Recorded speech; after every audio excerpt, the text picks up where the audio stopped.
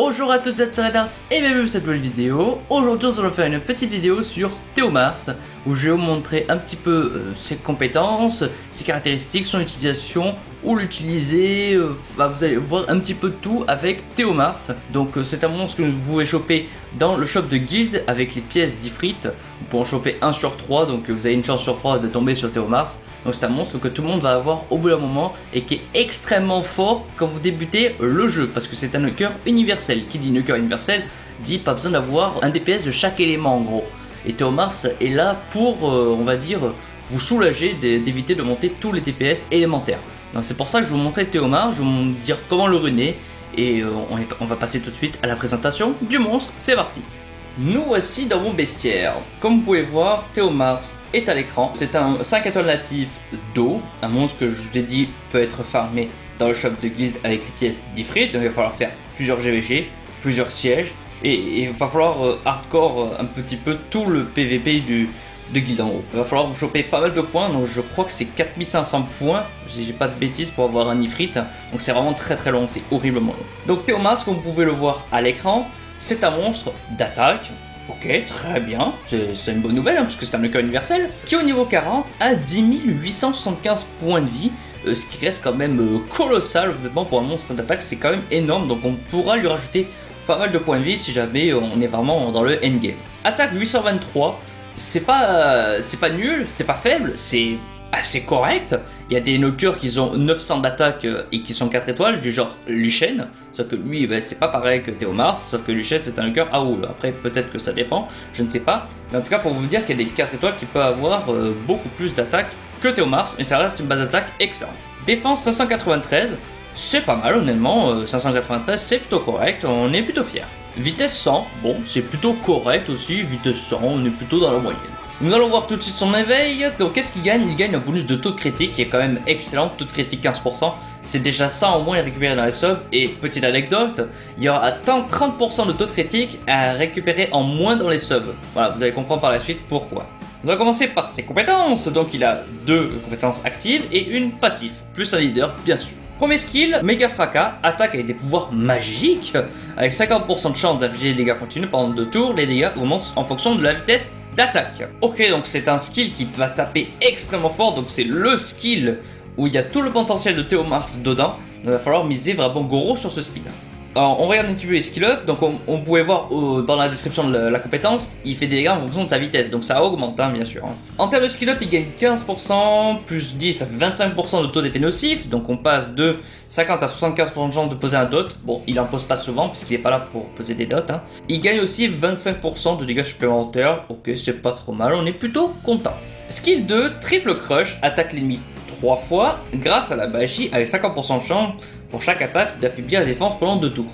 Un knocker qui tape en fonction de la vitesse et qui en plus peut, peu break def, c'est extrêmement fort. Hein, honnêtement, euh, trouvez-moi un knocker, enfin un knocker, il y a un wagon de knocker qui pose un break def, mais un knocker comme ça qui pose un break def, trouvez-moi un, il n'y en a pas beaucoup. Hein. C'est un skill qui est extrêmement fort, honnêtement, un petit break def sur un DPS, on dit pas non. En termes de skill up, on passe, ah bah non, on n'a pas de tour de CDR en moins.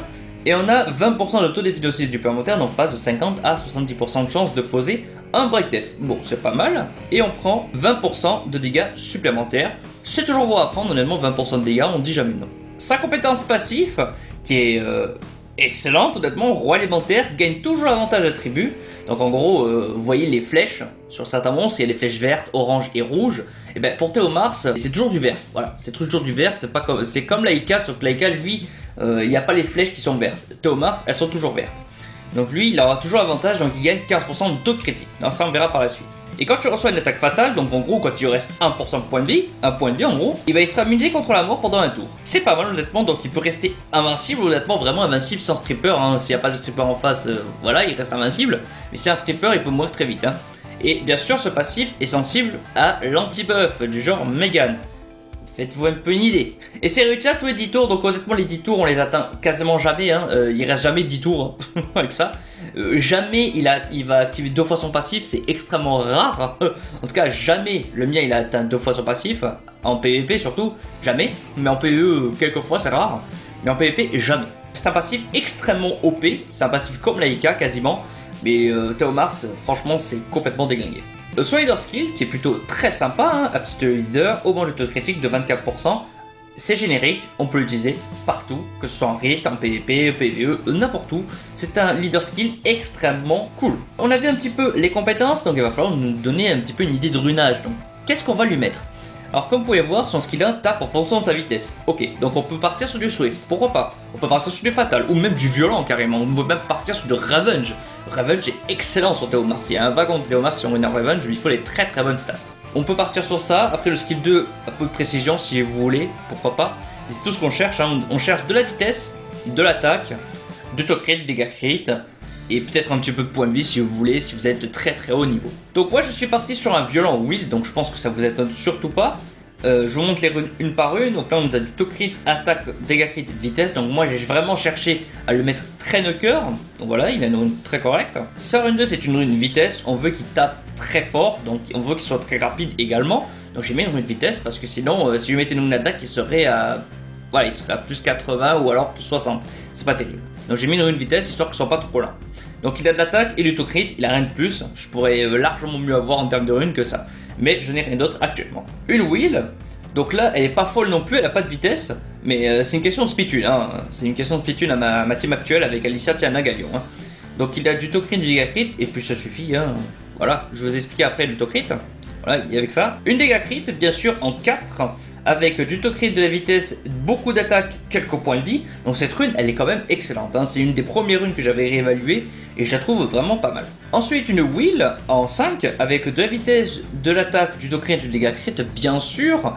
On est là pour, pour qu'il fasse des gros trous. Hein. Je lui mets vraiment des grosses runes pour attaquer. Rune 6 de l'attaque, bien sûr, ça ne vous étonne surtout pas.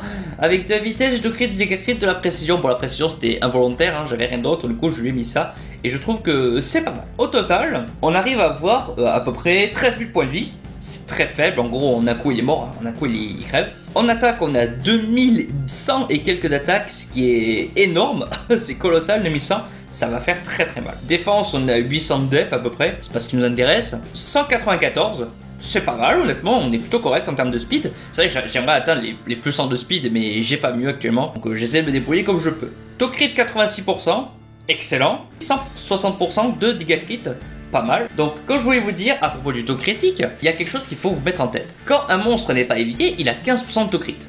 Ok, tout le monde a 15% de taux crit. Thomas, il gagne 15% de crit à l'éveil.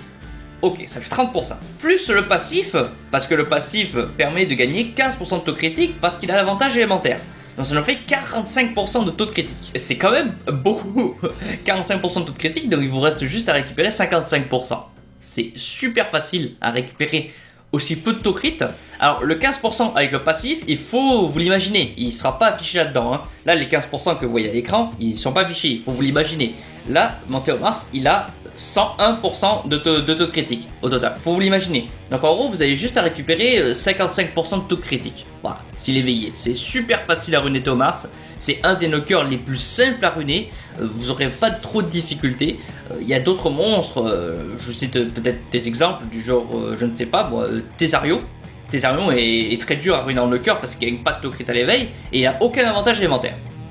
Donc du coup, il va falloir chercher beaucoup de tokens. C'est pour ça que je vous conseille Théomars qui est vraiment excellent. C'était le petit conseil que je voulais vous donner. Autre runage possible sur Théomars, il y en a un wagon, il y en a des milliards de runages possibles. Il y a du Swift, il y a du Fatal, il y a du Lab, il y a du Revenge, il y a du Will, il y a du Nemesis si vous avez envie. Vous pouvez mettre ce que vous voulez, sauf qu'en 2, 4 et 6, il va falloir varier en fonction de vos subs. Comme je vous ai dit, l'autocrit peut en récupérer euh, aussi peu que possible, puisque c'est 55% maximum en sub, ça suffit largement. Ensuite, en 2, vous pouvez mettre de la vitesse ou de l'attaque. En 4, dégâts crit ou attaque. Si vous n'avez pas de taux crit, là c'est ça craint, c'est rare. Mais en général, on met du dégâts crit sur Théomars, hein, c'est beaucoup mieux que de l'attaque. C'est plutôt facile d'avoir le taux crit correspondant. Et en 6, de l'attaque, bien sûr, pour qu'il fasse des gros gros trous. Je vous conseille fortement ça. Peu, importe le type de runage, que ce soit Swift ou Fatal, faites vitesse ou attaque en 2, dégâts crit en 4 et attaque en 6. Pour l'utiliser, c'est pas compliqué à comprendre. Théomars est un nuker universel, donc qui dit nuker universel dit utilisation très polyvalente. On peut l'utiliser vraiment partout, que ce soit en Rift, en Raid, en PvP, en Keros. Vous pouvez l'utiliser partout Théomars, franchement, c'est pas compliqué à s'en servir. Pendant les démonstrations que je vais vous présenter, je vais m'en servir en PvP Mais j'ai aussi fait une petite démonstration en PVE, mais sans plus, parce que de toute façon, Théomars, allez en servir partout. Par contre, je ne vous conseille pas le nécro. En nécro, euh, c'est pas la folie, hein. Théomars en nécro, non, merci, c'est pas ce qu'il faut. Il sert quasiment partout sauf le nécro. Ah, c'est pas compliqué à comprendre. Nous voici pour la démonstration PvP, donc comme je vous ai dit, je vais vous faire une petite démo sympathique. Là j'ai sorti une team classique qu'on trouve très fréquemment en conquérant. Vers C1, C2, on trouve très souvent ce genre de team qui tape extrêmement fort parce que c'est une team full RNG. Samatorion, Théo, Chazune, c'est une team très très forte. Je suis monté pour la première fois gardien 1 grâce à cette team, en semaine bien sûr, hein. je suis pas resté le dimanche soir, mais ça a été mon premier gardien 1 grâce à cette team à l'époque, et euh, bah, je m'en passe jamais de cette team, c'est super marrant à jouer. Donc c'est pour ça que je, vais vous faire profiter de cette team, ça me rappelle des bons vieux souvenirs. Donc comme vous pouvez voir, en leader skill, nous avons un leader skill de 33% de vitesse. Qui dit 33% de vitesse dit rajoute de la puissance d'attaque à Théomars, parce que plus il est rapide, plus il tape fort, tout simplement. On a du break def avec Orion, c'est pas mal, et on a un buff attaque avec Chazune. Donc on va essayer de pouvoir éliminer une cible dès le début, ce serait pas mal. On va voir un peu ce que ça donne. Normalement, ça devrait fonctionner à l'aise, hein, sans difficulté. Je vois pas pourquoi je perdrais. Hein. Faut voir un petit peu les RG que, je vais avoir. Ok, qui joue en premier C'est moi, heureusement, parce que j'aurais peur. Même si mon Orion est juste dégueulasse. Il y a un break def sur Joël. On met un buff attaque. Et Thomas devrait jouer derrière, tranquille. Faire quelques dégâts. S'il te plaît, évite de proc. Chazune, elle proc à tout va, je sais pas pourquoi. Et on va essayer de mettre en x1. Voir un peu les dégâts. Et crit. Bon, il fait 25 000. Donc il avait euh, beaucoup de défense. Le petit villageois, il y avait beaucoup de défense, c'est pour ça qu'on a fait un peu moins de dégâts. Par exemple sur Perna, on aurait pu faire un 35 à 45 000 facile, hein, parce qu'il a pas de défense, hein, il a pas de point de vie, il a rien du tout Perna. Déjà vous voyez que Perna prend très cher, moi Chazul va prendre très cher également. Merci Perna, tu es, magnifique, déjà Chazul est morte, excellent. ah tu es, tu es sublime, tu es, vraiment sublime mon ami. Alors, vous voyez les dégâts, ça cogne quand même très très très très fort. Si tu peux prendre Orion, ça aurait été cool. Non, tu peux pas, hein, t'as pas envie. Et vous voyez qu'on fait d'énormes dégâts. on se casse pas la tête, on stun. Et là, on va tester le break def, on va voir les dégâts que ça fait. Il fait 2008 et il fait 6002 par coup s'il est sur break def. Ok, bon, c'est pas trop mal. Là, on continue de jouer. Et j'ai pas le skill de, de Psamat, casse-couille. Ok, il fait 12k lui. Et là, on fait combien sur buff attaque Il fait 21k. Vous voyez que ça cogne très très fort. Hein. Très très très très fort. Hein. Et t'as fini? Est-ce que tu as fini? Allez, dégage. Et voilà, la démonstration de Théomars en PvP. C'est vraiment monstrueux, hein. Théomars, ça cogne super fort. Je vous conseille fortement l'utilisation de Théomars en PvP. Nous voici pour la démonstration PvE, donc j'ai décidé de faire une démonstration en Dragon B10. Bon, j'ai pas vraiment euh, d'idée pour proposer Théomars en PvE parce que de toute façon il est efficace partout. En TB10 pourquoi pas, le problème c'est que c'est pas speedtune à cause de Verdi qui est beaucoup trop rapide. Mais c'est pas grave, hein. honnêtement ça marche quand même, je vous assure. Hein. Ça marche quand même, donc on profite du ski de Verdi euh, qui est quand même assez colossal, c'est plutôt excellent. Et vous allez voir que les dégâts euh, sont quand même assez importants, on va y aller en manuel. Voilà, donc Verdi joue, hein. il est tellement débile. On pose un break def plus buff attaque. Et Thomas va faire des gros trous en mer x1. Sur le cristal gros là, il fait 31k, c'est pas mal, 31k, euh, c'est plutôt, euh, plutôt, méchant, hein ça cogne super fort. Et il met 15k sur le petit cristal, comme vous avez pu voir. Là, on cogne sans break dev, il fait 9k, c'est pas fou. Ils ont peut-être beaucoup de défense, ces cristaux. Là, on va tester après les dégâts que va faire Théomar sur Zeros. Si Galion pose son break dev, bien sûr. On va taper sur Zeros, bien sûr. On met un break dev, s'il te plaît. Merci. Et on va tester les dégâts Théomars sur Zeros. Il fait, il fait à peu près 29k. il fait 29k, c'est quand même assez énorme. ça colle super fort. Donc bien sûr, j'y vais en manuel pour vous montrer un petit peu les dégâts. Il fait à peu près 21k. il fait super mal Théomars. C'est un truc de fou. J'y vais en manuel, euh, pas, pour, pas que pour montrer les dégâts, mais surtout pour proposer une démonstration correcte, parce qu'en automatique, c'est n'importe quoi. On y va, on met un break dev, s'il te plaît, Galion. Bien On va tester les dégâts de Théomars avec le skill 1. Il a buff attaque, c'est pas mal. On aurait pu tester avec un buff vitesse, c'est clair. Il aurait fait un petit peu plus de dégâts, c'est tout. Pas beaucoup, vous rajoutez à peu près 3 à 5k. Hein. Et vous voyez les dégâts qu'il fait. Skill 1, il fait, il fait 20k. C'est pas non plus énorme, pour être très honnête avec vous. À l'époque, il tapait beaucoup plus fort que ça. Parce qu'il avait une, euh, attaque en deux. Mais il était plus lent. C'est le problème. On va essayer de faire rejouer Théomars à coup de skill 1. Voyons voir. 20k. Euh, ça pique quand même très fort. Vous voyez les dégâts que ça fait avec euh, Théomars. euh, ça colle quand même super fort. Vous voyez qu'on a réussi le run. Si vous avez les monstres, allez-y, ça fait une 50 en, manuel, donc en automatique ça doit faire un petit peu mieux que ça. Et voilà, cette vidéo est terminée, j'espère que ça vous aura aidé pour utiliser Théo Mars, mais aussi pour le ruiner correctement. Essayez de voir un petit peu ce que vous pouvez mettre, hein, honnêtement, si vous n'avez pas de violon, mettez du Swift, et du Fatal, ou du Revenge, vous pouvez mettre ce que vous voulez. Euh, ne vous cassez pas la tête hein, à mettre obligatoirement du violent, hein. euh, c'est pas parce que moi je le mets en violent que vous êtes obligé de le mettre en violent. Mettez ce que vous pouvez, euh, essayez de le ruiner à votre manière pouvez le ruiner tanky, bruiser, DPS, ce que vous voulez. Moi je vous conseille quand même DPS pour ceux qui sont plutôt early mid game. Après les endgame, les game, tout ça, eux ils font ce qu'ils veulent. Hein. Genre comme moi en gros, mettre euh, des points de vie, enfin voilà, vous voyez un peu toutes les stats inutiles en gros. Si on peut dire ça entre guillemets, parce qu'en game on va pas charger des points de vie sur un nuker, hein. on n'est pas là pour, euh, pour tanker, on est là pour tuer, taper. Si vous avez des questions à propos de ce gros plan, n'hésitez pas à me dire en commentaire et j'essaierai d'y répondre si possible. Si ça vous a plu, n'hésitez pas à aimer, à commenter, à partager la vidéo, à vous abonner pour qu'on soit le plus nombreux possible, à activer la cloche pour retrouver dessus de la chaîne là, d'aller sur Discord que vous trouverez bien évidemment sur la bannière de ma chaîne YouTube et aussi dans la description de toutes mes vidéos pour des subs, des reviews, les défis sur la chaîne, mardi bien évidemment, pour me proposer vos défis, pour pouvoir ainsi interagir avec vous. Sachez que ça se fera une semaine sur deux. Mais aussi n'hésitez pas à enregistrer FAQ Ask pour me poser vos questions pour de moi par rapport au jeu, pour une future vidéo qui risque d'arriver dans quelques mois, donc euh, allez-y vite. Je vous souhaite à tous une très très bonne journée à vous et on se retrouve à la prochaine vidéo. Ciao ciao les amis Bye.